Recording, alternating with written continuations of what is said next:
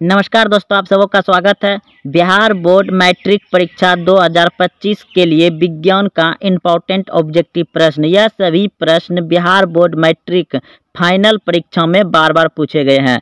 अगर आप Bihar board matric परीक्षा 2025 में देने जा रहे हैं तो आप इस वीडियो को ज़रूर देखें, क्योंकि बिल्कुल ऐसे ही आपको विज्ञान में ऑब्जेक्टिव मिलेगा हुबहू।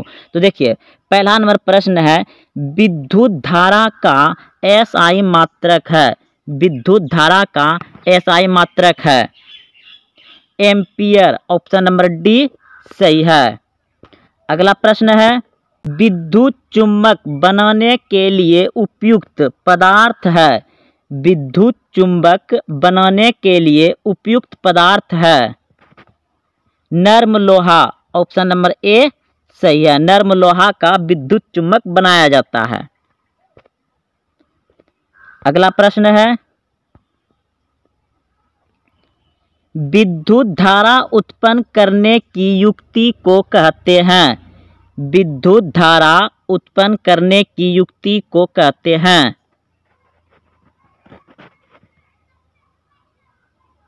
जनित्र, ऑप्शन नंबर ए, सही है। प्रश्न है आमीटर को विद्युत परिपथ में कैसे जोड़ा जाता है? आमीटर को विद्युत परिपथ में कैसे जोड़ा जाता है? तो श्रेणी क्रम में ऑप्शन नंबर ए सही है। धातुओं में धारावाहक होते हैं। धातुओं में धारावाहक होते हैं। मुक्त इलेक्ट्रॉन, धातुओं में धारावाहक होते हैं। मुक्त इलेक्ट्रॉन, ऑप्शन नंबर बी, सही है। अगला प्रश्न है, एक बल्ब से मिनट में 120 कोलोम आवेश प्रवाहित हो रहा है तो विद्युत धारा का मान ज्ञात करें। तो देखिए, विद्युत धारा का मान ज्ञात करने के लिए बोला गया है तो विद्युत धारा का जो सूत्र होता है आई बराबर क्यू बटे टी तो क्यू यानी 120 कोलोम हो, होगा और टी एक मिनट मिनट में 60 सेकेंड होता है तो 120 बटे 60 सेकेंड। तो इसको भाग दिया जाए तो दो बार में कट जाएगा यानी कि दो एम्पियर होगा। तो ऑप्शन नंबर हो जाएगा आपका ऑप्शन नंबर बी सही है। अगला प्रश्न है। जब किसी चालक तार से विद्युत धारा प्रवाहित होती है तो गतिशील कण होते हैं। जब किसी चालक तार से विद्युत धारा प्रवाहित होती है तो गतिशील कण होते हैं। इलेक्ट्रॉन, ऑप्शन नंबर डी सही है। अगला प्रश्न है। आ मीटर से निम्नलिखित में किसे मापा जाता है? आ मीटर से निम्नलिखित में किसे मापा जाता है? धारा, ऑप्शन नंबर ए, सही हो जाएगा। अगला प्रश्न है।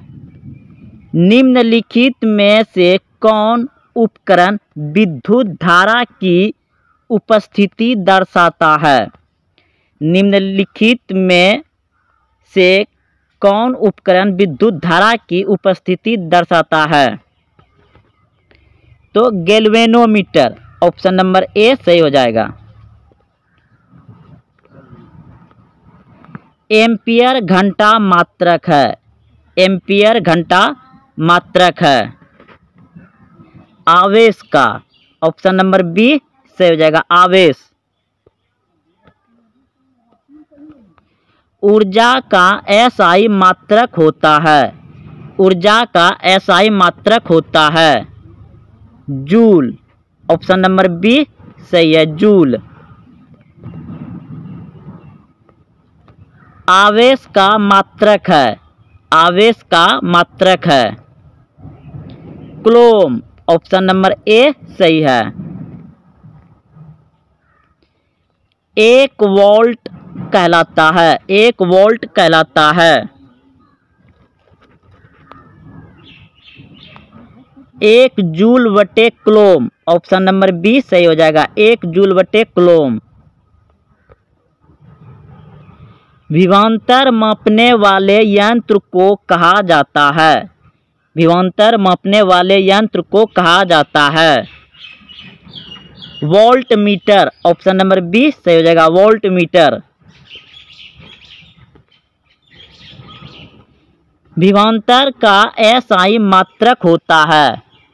विभवांतर का एसआई मात्रक होता है। वोल्ट, ऑप्शन नंबर बी, सही हो जाएगा। सूक्ष्म सेल में इलेक्ट्रॉन किस धातु का होता है?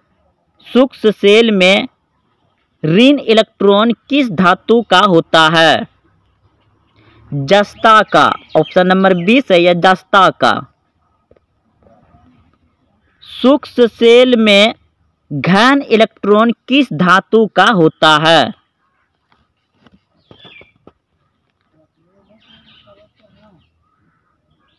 कार्बन। ऑप्शन नंबर सी सही है कार्बन। विद्युत सेल का प्रतीक है। विद्युत सेल का प्रतीक है। ऑप्शन ए सही हो जाएगा। अर्धचालक का ताप बढ़ने पर उसका प्रतिरोध क्या होता है? अर्धचालक का ताप बढ़ने पर उसका प्रतिरोध क्या होता है? घटता है। ऑप्शन नंबर बी से हो जाएगा, घटता है। किसी उपकरण में घन, प्लस और ऋण, माइनस का चिन्ह नहीं होता है। किस उपकरण में घन, प्लस और ऋण, माइनस का चिन्ह नहीं होता है? कुंडली में ऑप्शन नंबर सी सही है।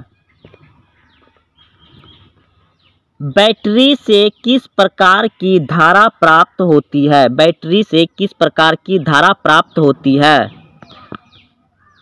दृष्ट धारा ऑप्शन नंबर बी सही है दृष्ट धारा निम्न में से कौन सा संबंध सत्य है? वी बराबर I R option number C सही है।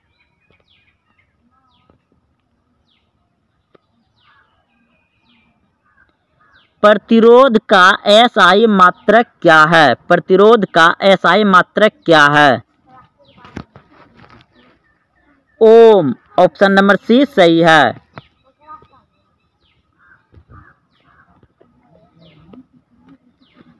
किसी कुंडली का प्रतिरोध ज्ञात करने का सूत्र है। किसी कुंडली का प्रतिरोध ज्ञात करने का सूत्र है। ऑप्शन नंबर बी सही है। आर बराबर वी बटे आई।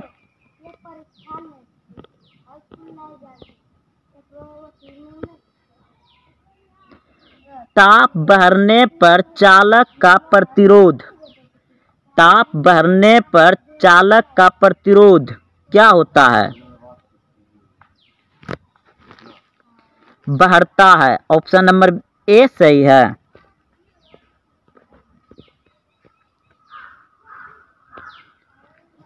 विद्युत प्रतिरोधकता का एसआई मात्रक है। विद्युत प्रतिरोधकता का एसआई मात्रक है। Ohm meter, option number D सही है। निम्नलिखित में से कौन विद्युत का सबसे अच्छा चालक है? निम्नलिखित में से कौन विद्युत का सबसे अच्छा चालक है? चांदी ऑप्शन नंबर ए सही है